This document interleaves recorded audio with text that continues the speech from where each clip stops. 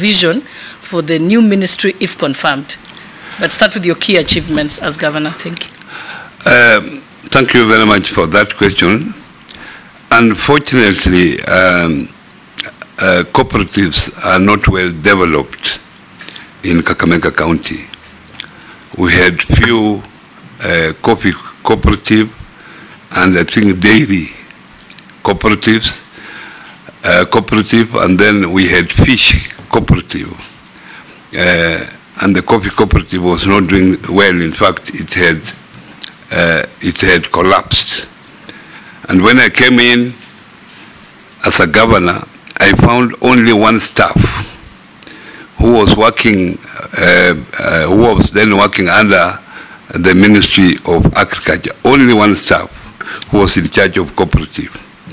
So obviously, cooperative being a very important vehicle for economic development, I had to beef up uh, that particular unit. I assigned two people to that, uh, to the staff, and made, the, uh, made him director of cooperatives at that time. And then there, from there, I made a provision in the budget, allocation, in order to revive cooperatives in the county. And that time, I, make a, I made a provision of 20 million so that I could support the three cooperatives that were there. And after a short time, because I found cooperatives were very important, I, uh, I, I made that particular unit to be separate under a chief officer so that we had a proper uh, focus to it. And as I left, there was actually a chief officer uh, who was in charge of cooperatives. But uh, uh, I, my people have not, had not embraced cooperatives. Uh, we could support them, then because of uh, poor management, resources could be misused.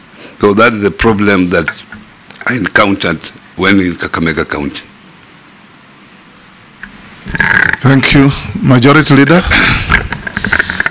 Thank you, Honorable Speaker.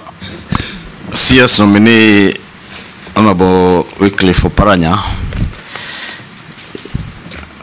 as part of the vetting process, we do write to EACC, and when the clerk wrote to EACC on your suitability amongst others, who had been nominated to serve as cabinet secretaries. EACC had a reservation on your nomination as, as a cabinet secretary, and they said they had conducted investigations on allegations of corruption against you when you served as a governor of Kakamega County, on uh, also conflicts of interest, abuse of office, and money laundering. And they did recommend to the DPP that you be prosecuted for those offenses.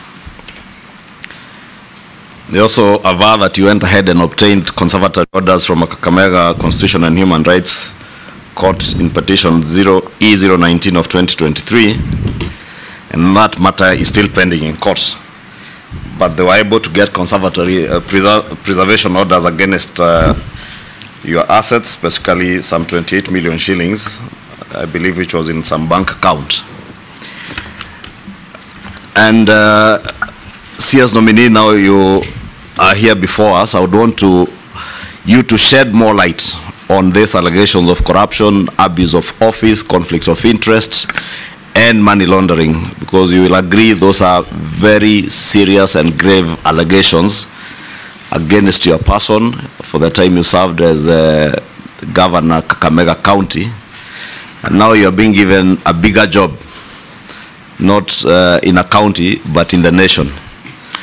A job that will entail you overseeing not just the cooperative sector, but also the micro, small, medium enterprises development in the country.